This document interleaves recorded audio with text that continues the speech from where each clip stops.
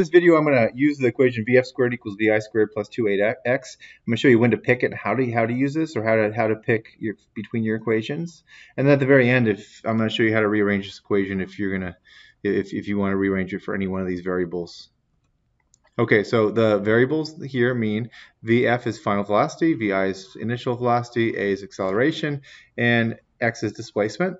What I don't have is time. This is going to be very important because this will help me pick up my equation. I don't have time. I don't need, I can't have time anywhere in the equation. And don't forget to have your unknown. So let's take a look at an example. Here, a skater is gliding off a frozen pond into a patch of ground at a speed of 2.9 meters per second. Here she's slowed at a constant rate of, so Watch out for that. Slowed at a constant rate of 3.0 meters per second squared. How fast was the skater moving after she slid 0.38 meters across the ground? So it's asking you how fast was she moving after she slid that. It's asking you for VF. Um, it has the speed was 2.9 meters per second before she slowed, and then she slowed slowed, so it's going to be accelerated but decelerated at 3.0 meters per second squared. And then you have your displacement x that we're um, which is 0.38. We know that. And so because I have these givens and I don't have time, I want to get rid of anything that has time in it. I can't have that. I can't have that. I can't have that, leading me to one equation only. Okay, so let's all solve for this. VF squared, I want VF, VF alone, not VF squared equals vi squared plus 2ax.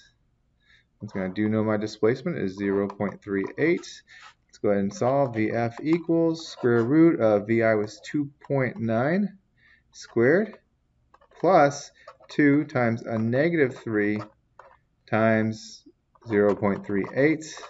All that is going to be under the square root. So in my calculator, I hit square root and of, it gives me one parentheses, I want another parentheses, 2.9 squared, close parentheses, plus, open parentheses, 2 times negative 3 times 0.38, close parentheses, close parentheses, equals, and you get 2.475 8, but if I'm, if I'm around that, 2.5 meters per second. So there's your final velocity in this, this problem you slowed from 2.9 to 2.5 meters per second. Okay, so um, let's go ahead and let me show you how to rearrange this equation. If I wanted to rearrange it for VI, this is how I would do it. I'd have to get rid of the 2AX. And I have VF squared minus 2AX equals VI squared. And at that point in time, I can take the square root of both sides. And I'm going to rewrite this, so that gets rid of all that. VI equals square root of VF squared minus 2ax. And all this will be under the parentheses, or under the, the, the square root. Okay, rearranging for a. If I want to rearrange for a, I'm going to subtract vi squared from both sides. So I vf squared minus vi squared equals 2ax.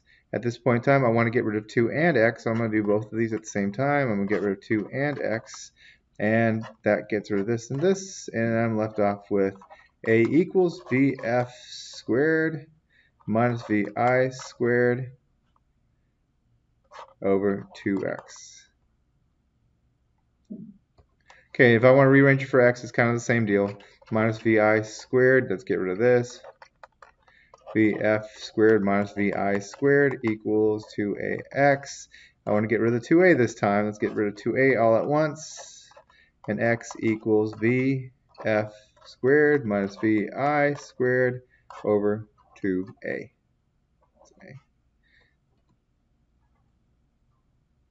And if I was trying to solve this for VF, this should be a given. This is what I did in our video. Take the square root of both sides.